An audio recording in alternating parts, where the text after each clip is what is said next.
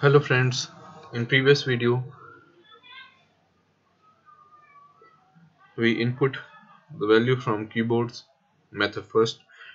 Now another method which is used for input from keyboards in java. Now let's start this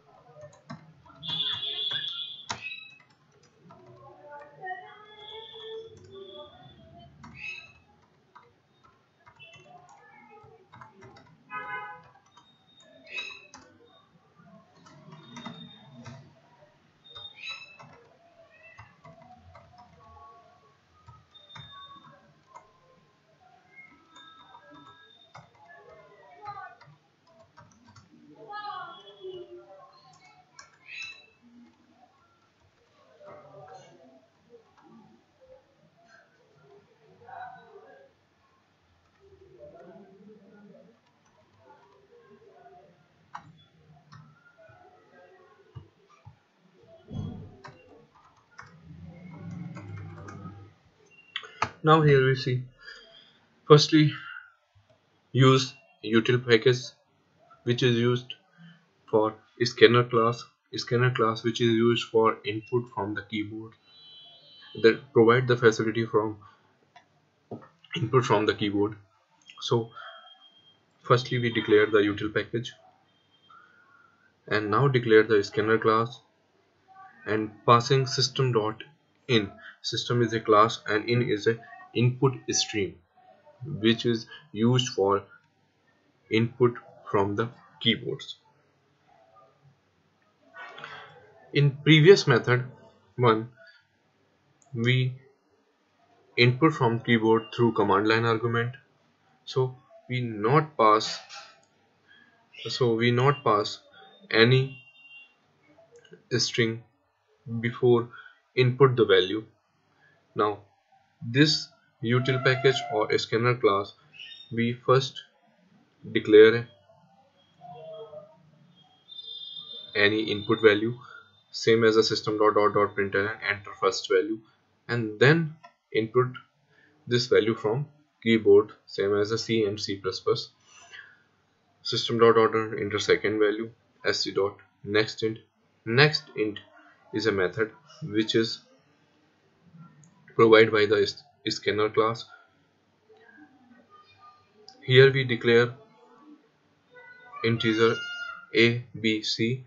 So this types of variable is integer type. So here method is used also as an integer because that variable is integer type. So we use the next int because java is supported the string. So now convert to the string to integer through next int method if you want to use double so use the next double.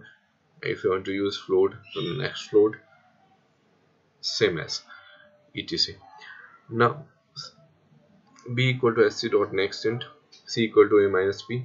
Now print c. Now run this program. Java c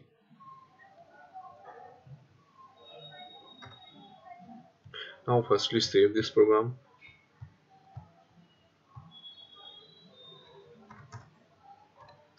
input one dot java save now run this program